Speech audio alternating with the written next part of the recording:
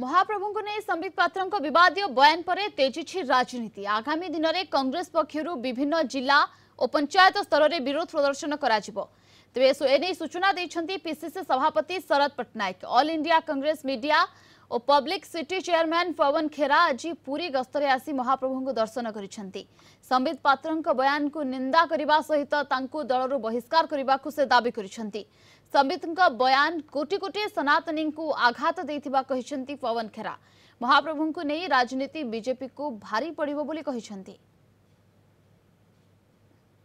लोगों के मन में एक दुख है अफसोस है कि कैसे भारतीय जनता पार्टी के एक नेता ने भगवान जगन्नाथ जी के करोड़ों करोड़ों भक्त जो पूरी दुनिया में हैं, उन सबका अपमान किया, हमारी, मेरी भी आस्था से खिलवाड़ किया।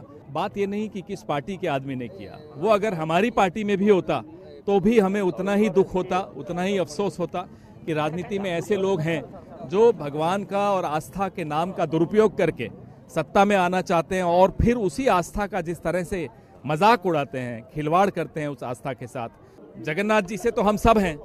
अब ये लोग तो कहते हैं कि ये भगवान राम को ये लाए हैं। अरे भगवान राम तो हमारी उंगली पकड़ के हमें यहाँ तक लाए हैं। और आगे तक, जब तक हम ज़िंदा हैं, भगवान राम, जय, जगन्नाथ जी के आशीर्वाद से ही हम आगे एक एक कदम जो बढ़ाते हैं, इन्हीं के आशीर्वाद से चलती है, पूरी सृष्टि इन्हीं के आशीर्वाद से चलती है। ये सारा उड़िया जाति पाए उड़ीसा पाए।